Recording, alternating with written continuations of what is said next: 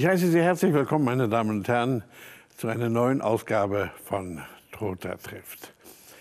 Äh, wer die Sendung aufmerksam verfolgt, wird äh, wissen, dass wir manchmal ganz junge Menschen hier als meine Gesprächspartner haben, die sehr erfolgreich und vielleicht auch sehr ungewöhnliche Wege gegangen sind.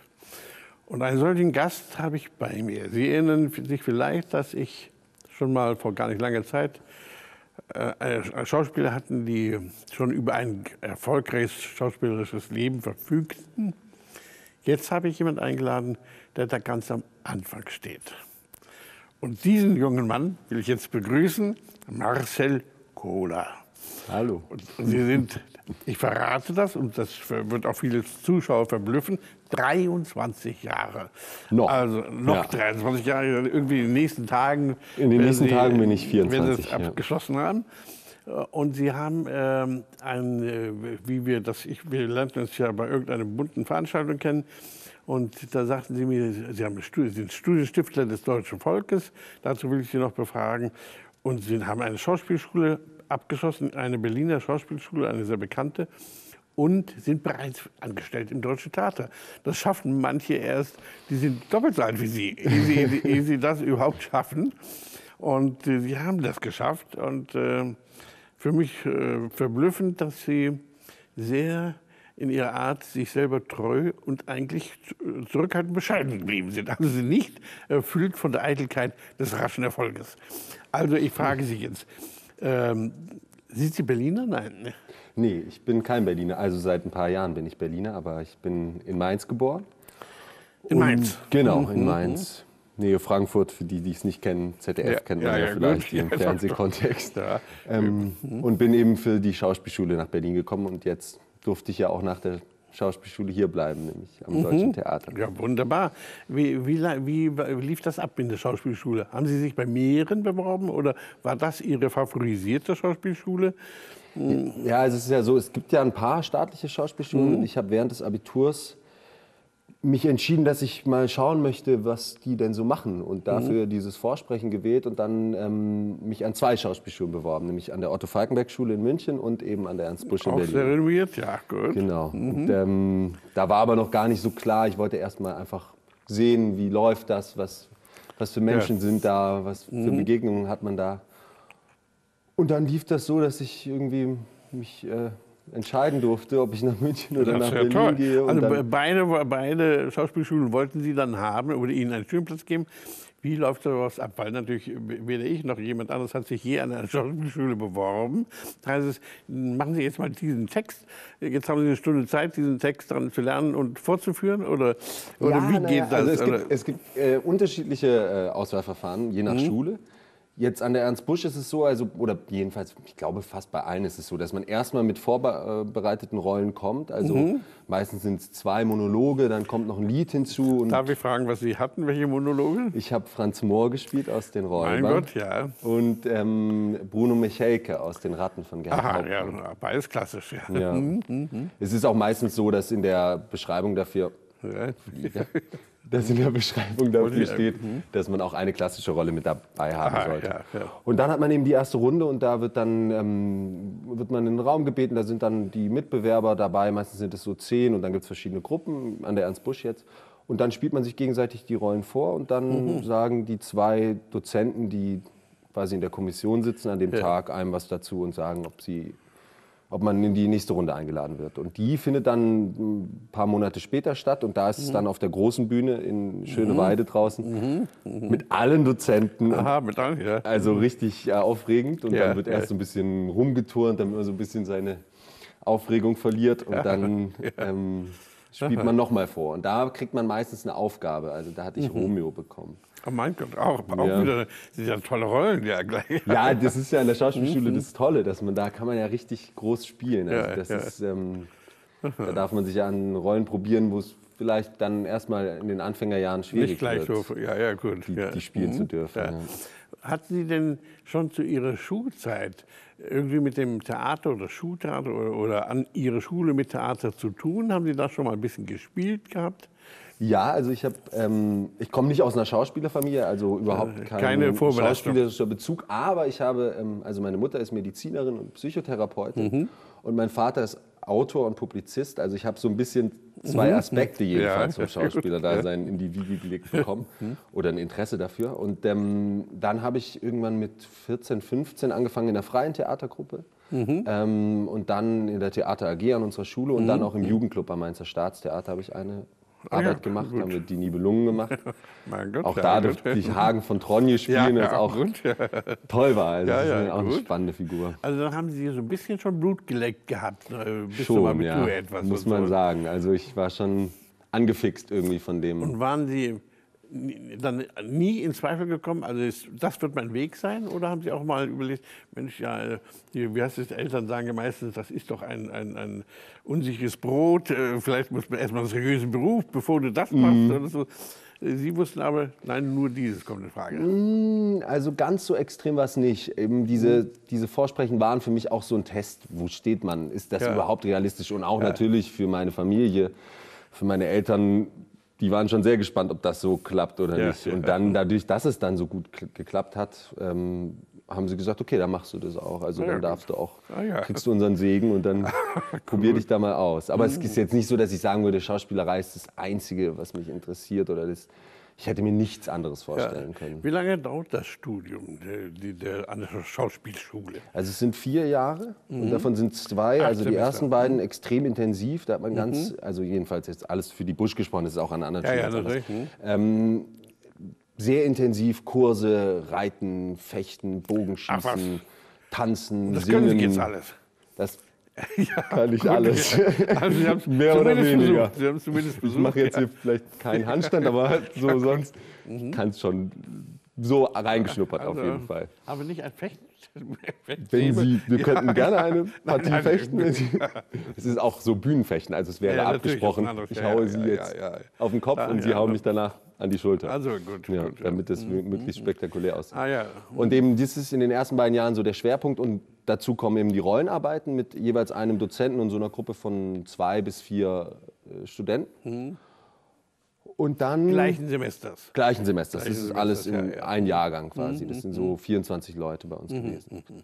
Und dann im dritten Jahr öffnet sich die Schule und fängt an, Produktionen zu machen in Kooperation mit verschiedenen Häusern in Berlin. Also ich war jetzt in der Schaubühne, ähm, Mhm. es gibt aber auch mit dem Deutschen Theater manchmal Kooperationen, mit dem Berliner Ensemble. Also fast alle Theater in Berlin haben irgendwie Mhm.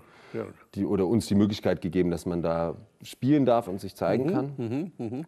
Und im dritten Jahr hat man dann nur noch relativ unregelmäßig, äh, meistens nur einmal die Woche festen Unterricht an der Schule und ist eben sonst schon in der Praxis Ach schon, drin. ah ja, ja. Donnerwetter, aha, da geht's dann schon. Und das vierte Jahr, also das dritte Jahr, beziehungsweise das vierte Jahr fängt damit an, dass man dieses berühmt-berüchtigte Intendantenvorspiel hat, was ein großes Thema ist für jeden äh, Schauspielstudenten. Also da ähm, fiebert man ordentlich drauf hin, weil da Ja. kommen eben die Intendanten der Theater und die Dramaturgen und schauen sich die zwar bundesweit oder landesweit? bundesweit. Bundesweit. Also, ja, sogar also wirklich aus dem deutschsprachigen Raum, aus der Schweiz, aus Donnerwetter, ja, ja, Österreich. Das ist natürlich dann schon wirklich, da hat man sich alle vor der, vor der Nase. Ja, und man hört äh, die, die Stifte auf den Blocks und versucht irgendwelche Sachen zu deuten, die meistens überhaupt keinen Sinn machen.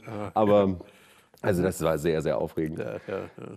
Genau, und das äh, ist eben am Anfang des vierten Jahres. Und das vierte Jahr ist dann noch so, dass man eben noch Projekte zu Ende machen kann, auch nochmal neue machen kann. Oder eben auch auf, sich auf die Suche begibt nach dem ersten Engagement. Nun hatten wir ja eben noch angesprochen, Sie sind Studienstifter des deutschen Volkes. Also eine hoch, falls es niemand kennt oder jemand nicht kennt, eine hochbegabte Stiftung, die höchstbegabte Stiftung, äh, neben der anderen Stiftung Ollnau und was es da alles als Stiftung gibt. Ähm, war das auch, um Ihr Studium mit zu finanzieren oder wollten Sie mit, die, mit dem, einer Mitgliedschaft in der Studienstiftung äh, Kollegen kennenlernen, die auch in dieser hochbegabten Stiftung, was hat Sie dazu gebracht und wie sind Sie dazu gekommen, in diese Studienstiftung Ja. hineinzukommen? Na, also diese, diesen Bereich in der Studienstiftung Schauspiel, Tanz und so gibt es noch nicht so lange, also er ist relativ Aha. jung. Und natürlich, man freut sich über die finanzielle Unterstützung, die Ja, man bekommt. toll, ja. Ähm, aber es ist eben auch ein tolles Forum, eben auch fächerübergreifend äh, Mhm, Menschen kennenzulernen. Und auch von der Atmosphäre fand ich es extrem anregend. Also man hat gute Gespräche und es, man ist natürlich an der Schauspielschule auch sehr, bleibt man da in dem Kosmos drin und hat natürlich immer mit Schauspielern, Regisseuren und Dozenten zu tun. Aber mal mit einem BWLer und mit einem Juristen oh, und mit einem Tänzer beieinander zu sein, ähm, das ist natürlich auch äh, spannend gewesen. Ja, Ja. Aha. Und äh, mussten Sie dann Leistungsnachweise bringen oder nur die Bestätigung, dass Sie an der, an der Schauspielschule erfolgreich weiterhin verblieben sind? Nee, man muss schon. Also es gibt ein richtiges, auch da wieder ein Vorsprechen beziehungsweise ein Gespräch und dann spielt man ein paar Rollen vor und dann redet man danach über die Figuren, was man so vorhat und so weiter. Und dann gibt es eine Gruppenimprovisation mit den Bewerbern, wo verschiedene Aufgaben gegeben werden, Ja. die man dann ad Also hoc machen lange muss. kann es doch nicht sein, weil ich äh, in meinem Freundeskreis sind ja mehrere Studienstiftler, Ja. aber von die, dass es da Künstler auch gibt, also so eine Kunstabteilung. Das ist wirklich sehr das neu. Muss, das Ja. muss ganz neu Ja. sein. Also, aber finde ich toll, dass man sich dieser Total. Disziplin nun wirklich auch mal von dieser hochbegabten Stiftung aus widmet Hm. und sie erfolgreich da dabei sind. Mhm. Jetzt sind Sie, als Sie das Examen gemacht haben, Mhm. ähm, das ist dann nach diesem Intendantentag oder, oder Genau, es gibt quasi noch, das ist jetzt kurz her, dass ich das äh, Ja, richtig offiziell abgeschlossen habe, also jetzt erst im Oktober. Ähm, dafür schreibt man dann noch eine Diplomarbeit. Ja, also es ist noch Diplom. Ach, das- Und da habe ich jetzt über einen Regisseur geschrieben, dessen Arbeiten mir sehr wichtig sind, äh, Mhm. Jürgen Gosch. Auch, man kann noch ein paar Arbeiten am Deutschen Theater Ja, sehen, ja. Mhm. er ist leider verstorben. Ähm, also sehr empfehlenswert. Aha, Onkel gut. Vanya, Die Möwe und Idomeneus muss man sich, Ah, finde ja, ich, ja, ja, angeguckt gut, haben. wird auch mancher äh, gut kennen. Ja, wahrscheinlich. Also Ja. auch eben mit Uli Mattes, Ja, äh, der ja, ja, auch ja, mal hier ja. in der Sendung zu Gast war. Ja, ja, ja. Und ähm, also das, äh, das muss man offiziell dann noch beenden. Aber das Intendantenvorspiel ist quasi in der Praxis. Äh, Mhm, Ja. Und das ist doch wahrscheinlich da notiert Schritt. jemand, den will ich haben. Oder, oder Genau, dann kriegt man dann, Intendanten- äh, kommt die ganz spannende Zeit, weil dann sitzt man vor seinem Handy und äh, hofft, dass irgendjemand anruft, mit dessen Nummer man nicht kennt. Und dann so. äh, sieht man da, okay, 0, Kommt was aus 0043, München? Ja. was könnte das für Mhm. eine Stadt sein? Und dann geht man ran und dann, ach Oma, du bist gerade woanders. Ah, also es ist, Ja. es ist mit sehr viel äh, Enttäuschung verbunden, gut, diese gut. Zeit, aber auch mit sehr viel tollen Sachen, weil man eben angerufen wird und dann wird gesagt, man fand das, was man da gezeigt hat, interessant. Dann wird man nochmal Mhm. zum Vorsprechen eingeladen, spielt nochmal vor, Ja. Vor dem Haus und dann. Und dann kriegen Sie mehr Angebote oder können Sie sich jetzt, ähm, ich sag mal, unter solch großen Adressen wie Deutsches Theater, äh, vielleicht in München oder vielleicht in Hamburg oder Stuttgart, äh, was aussuchen? Oder war das Deutsche Theater jetzt äh, quasi das Theater, was Ihnen gesagt hat, Sie können kommen und eine Alternative gab es nicht? Naja, also ich habe im dritten Studienjahr schon am Deutschen Theater eine kleinere Rolle gespielt Mhm. bei Stefan Kimmich in Wasser Schelesnova und kannte daher das Haus und kannte Ja. auch so ein bisschen die Strukturen da und die Kollegen und ähm, fühlte mich da sehr wohl und hatte auch in, innerlich natürlich ein bisschen gehofft, vielleicht geht das Ja, auch irgendwie mhm. weiter. Und dann habe ich aber trotzdem die anderen Vorsprechen gemacht. Ich wollte einfach, also zu denen ich dann eingeladen Mhm. wurde, zu, in die Städte bin ich auch gefahren und ähm, Ach, Sie hatten mehrere Angebote. Also, äh, zum, na, das ist ja auch das hier wieder ungewöhnlich toll, ja. Ja, aber es ist also, es war dann, als das Deutsche Theater gefragt hat, ob, ob ich da ins Ensemble Dann kommen möchte, das dann ist, ja. dachte ich, ja das, ist, Ja. das ist vielleicht echt die richtige Adresse für mich. Weil Sie auch Berliner, äh, in Berlin sich hier wohlgefühlt haben und ein bisschen Berliner sein und bleiben wollten? Oder? ja, Also, das kann man so sagen. Also gut, ich gut, gut. kann es Ja, überhaupt nicht, Entschuldigung. gleichen Satz nochmal auf Hessisch. Ja, der, der Hessisch ist auch ein schöne, äh, schöner Dialekt, aber Berlinerisch mag ich schon auch sehr Mhm. ja, gerne. ja. Also es ist, ich fühle mich hier sehr wohl. Ich haben ja so eine, mir fällt es auf, habe ich jetzt schon mal gesagt, Sie haben ja eine sehr tragende Stimme, eine voluminöse äh, Bassstimme. Singen Sie auch? Oder? Man singt an der Schule viel. Mhm.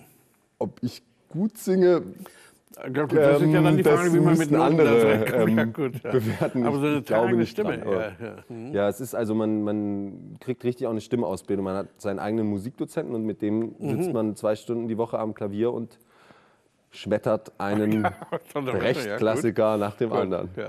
Und äh, ich fragte ja auch den Ulrich Mattes mal, gibt es äh, Rollen, wo Sie sagen, also das möchte ich jetzt, Sie sind nun ja sehr jung, mhm. da kommen immer die Helden auf Sie zu, nicht? oder was kommt da, irgendwie, ich erkenne mich da zu wenig aus, was kommen so an Rollenangebote auf Sie zu, wenn man so jung ist? Sie sind mhm. ja nun sehr jung.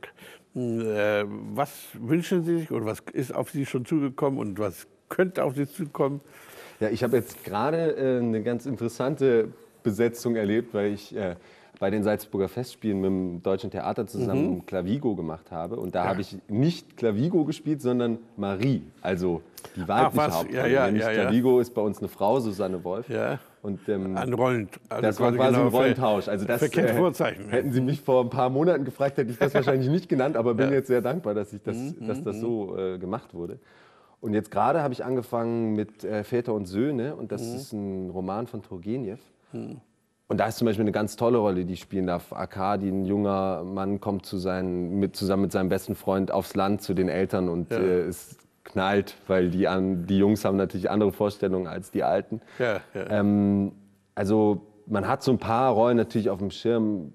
Ich meine, es gibt natürlich Klassiker, ne? eine Hamlet oder mhm. äh, mhm, mhm. eine Rolle, die ich sehr mochte, war Beckmann in Draußen vor der Tür. Mhm. mhm. Ähm, also es gibt schon Rollen, auf die man hofft, hm. Aber man lässt sich auch gerne überraschen. Ja, und ja. von und äh, Nun denke ich mir jetzt gerade, weil Sie, ich höre es von Ihnen zum ersten Mal, dass Sie da also hm, in eine Frauenrolle geschlüpft mhm. sind.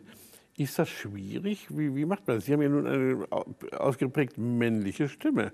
Wie, wie schafft man das? Also Na, äh, war das auch so gewollt, dass es ausdrücklich diese Provokation, ein Mann in Frauenrolle, früher wurden ja die, mhm. die Frauenrollen immer von Männern gespielt, mhm. ähm, in früheren Jahrhunderten, oder Jahrtausenden müsste man da sagen, äh, war das eine ausdrückliche Provokation des Regisseurs oder warum hat er diese, diesen Clavigo weiblich besetzt und äh, ja, also Provokation, glaube ich, war es gar nicht so in erster Linie, sondern es ging eher darum, eben zu sagen, ähm, diese Thematik Karriere, ähm, Familie, Liebe, ähm, mhm. diese zwei Pole, die an, an einem zerren und wo man sich dann irgendwann vielleicht entscheiden muss, ja. dass das ja nicht mehr primär ein männliches äh, Dilemma ist, sondern auch ein weibliches sein mhm. kann. Mhm. Und das war eben die Überlegung. Deswegen war es für mich jetzt auch nicht so, dass ich Marie als Frau angelegt habe, sondern ja. dadurch, dass Clavigo eine Frau ist, bin ich ein Mann. Ja, und ja, ich habe den Text einfach genommen Aha, und heiße gut. Marie, aber bin, nehme das als Mann. Ah, ich kann das auch sehr nachvollziehen, was Marie sagt. Also ich glaube, das ist nicht. Äh, da ist der Goethe schon wirklich sehr toll. Also was Sie haben da die eben Figuren noch, angeht. Äh, Wolfgang Borchardt genannt, draußen vor der Tür. Das war mein Abiturdichter. Oh. Insofern, wenn Sie da antreten... Welche Note? Wer, wer, nein, nein, das, nein, das, ich sage es lieber nicht. Okay. Aber ich habe doch Deutsch war ich ähm, Gott sei Dank sorgenlos. Mhm. Aber ähm, wenn Sie das machen sollten, dann müssen Sie mir unbedingt Bescheid äh, geben. Dann sitze ich zu Ihren Füßen.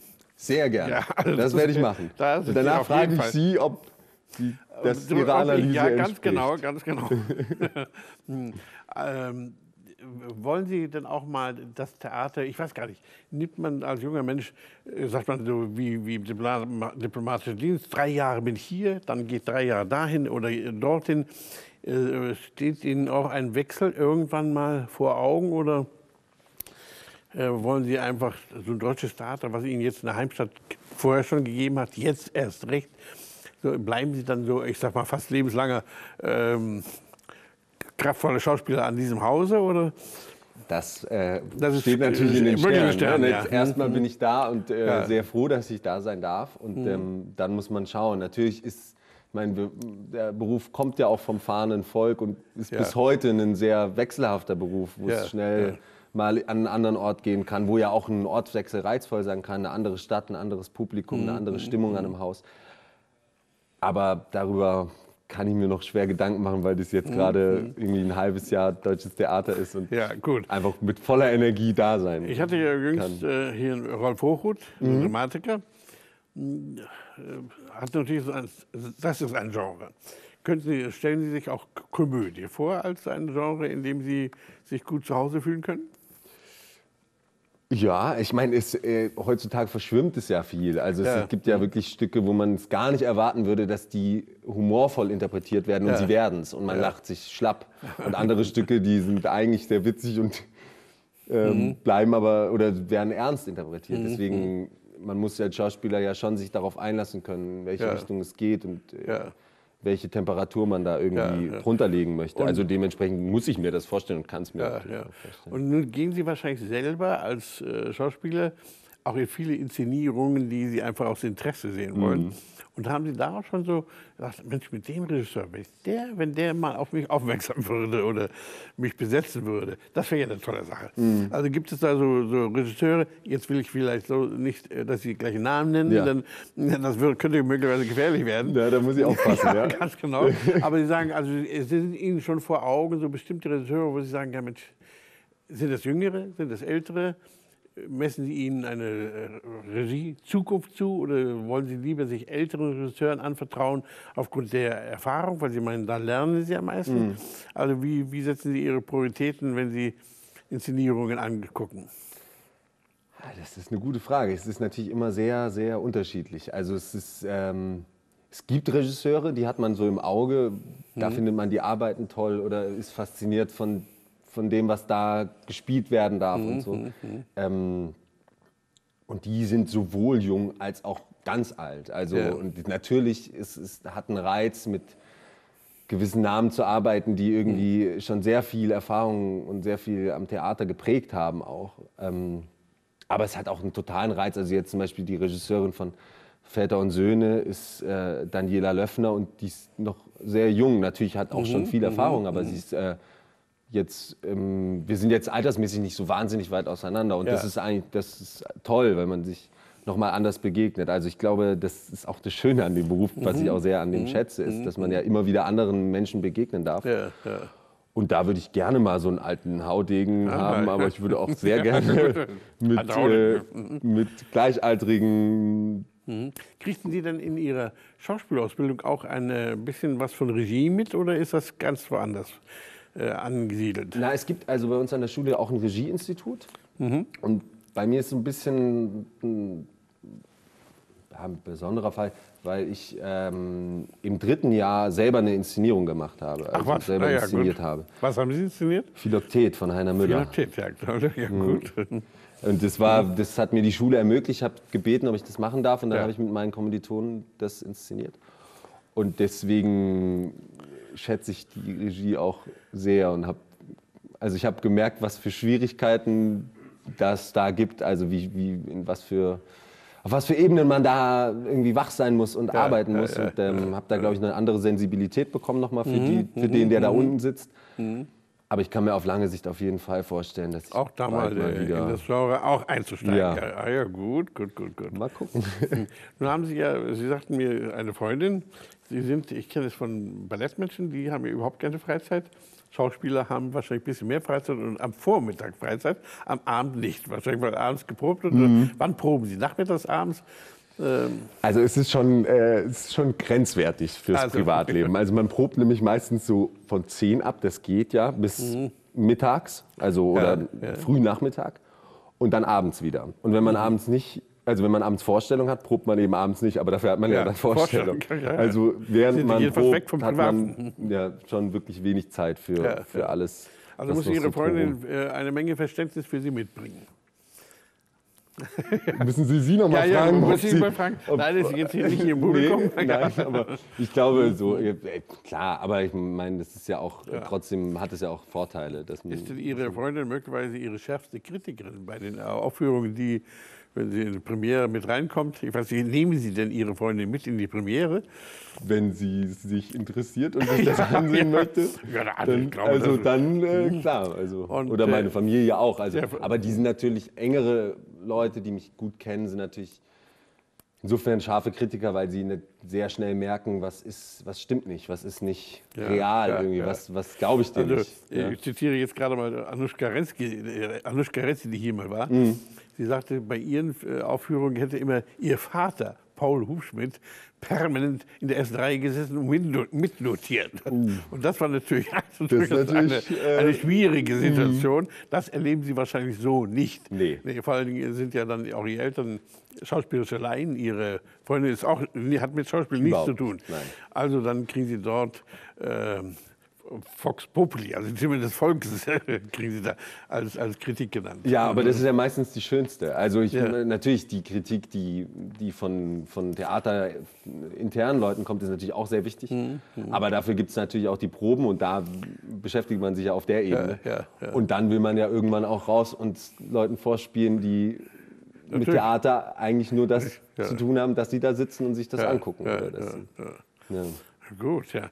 Ähm, ja, also eigentlich ähm, sehe ich ihren, ihren Weg mit, mit größter Begeisterung äh, vor mir hm. und äh, stelle mir vor, nun ist es, äh, wenn Sie länger am Deutschen Theater sind, dass ich auch Möglichkeiten habe, Sie dort äh, Ihren Werdegang als Schauspieler dort zu erleben hm. und ähm, vielleicht auch dann Sie einfach mal einladen, so nach gut, ich bin vorgerücktes Alter, wer weiß, wie lange ich diese Sendung hier noch mache, aber gleichwohl dann mal so nach einem gewissen Erfahrungshorizont, den Sie dann gemacht haben, zu mhm. sagen, so, was war das? Was waren eigentlich die, die bislang schönsten Stunden oder wo gab es Enttäuschung? Wo habe ich ähm, große Schwierigkeiten zu überwinden?